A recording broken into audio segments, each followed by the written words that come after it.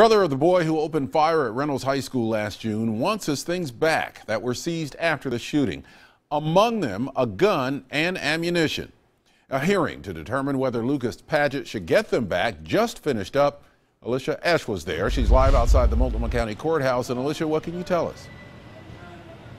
Well, Ken, the first thing I can tell you is it was a very emotional day right behind those doors as the lawyer for the city of Troutdale and the lawyer for Lucas Padgett went toe to toe on this issue back and forth. Now, in the end, I'm told eventually it looks like the items, including a firearm, a plate carrier vest, and eight magazines, will be returned to Lucas Padgett, the original owner of those items. Now, it's important to note this is not a done deal just yet.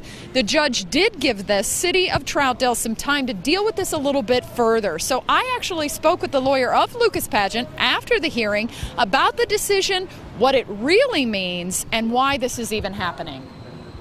The judge is basically siding with Mr. Padgett. The judge is saying that you get the items back. However, I'm giving a grace period to the city for 45 days. I think a lot of people in the city of Troutdale and certainly at Reynolds are very upset that someone would want items like these back with the history they have.